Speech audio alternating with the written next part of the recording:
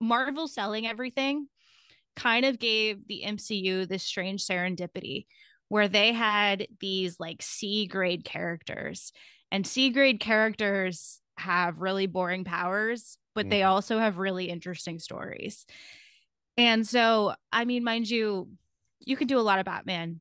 You can't always do a lot with Superman unless you know what you're doing. And so I think DC has stumbled out of the gate because they've had their best characters. And it's just like, okay, what do we do with that? Right. But, you know, when you have to start with the bottom of the barrel, that's where you get interesting. You know, that's why Suicide Squad by James Gunn works so well because James Gunn knows how to work with garbage. Yeah. Your garbage characters is where you get the interesting stuff. That's when it works.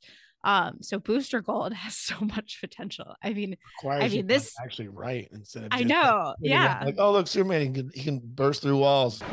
Okay. All right. Yeah. So then, what else matters that you can just do everything? Yeah. So yeah. Booster Gold, meanwhile, just runs into walls that he puts out himself, and it is glorious. Think you could lighten up for just one second, Mr. McGrumpy Pants? Do I have to remind you that you're the reason we're in this mess? Because he just he doesn't understand. Booster Gold is an idiot, and it's wonderful. And I, for one, want more idiots in comics. more idiots in comic book movies 2023. Give me a hell yeah. There you go. So, so you know, for our fans out there that that aren't familiar with Booster Gold, can you just give a little bit of background about the comics, the story?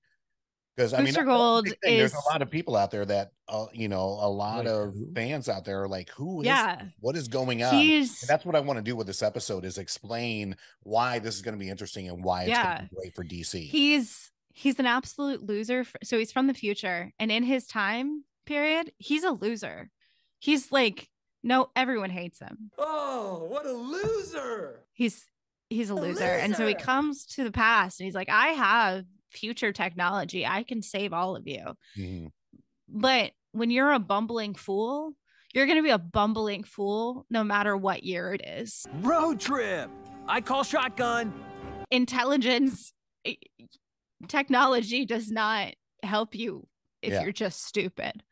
Um, so he comes to our time, like modern times, and he's like, I'm gonna help you, Batman, Superman, Wonder Woman. And they just watch him run around and make bigger messes.